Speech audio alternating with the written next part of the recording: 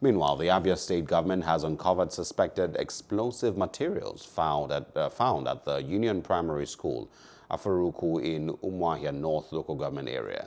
This was disclosed in a statement issued on Thursday by the Commissioner for Information, John Kalu. Following the discovery, the commissioner said the state government is currently working with relevant security agencies in the state to unravel the source and nature of the explosives. In the meantime, Governor Okezie Ikpeazu has directed security agencies to embark on proactive checks in, all, in other vulnerable locations out of uh, an abundance of caution.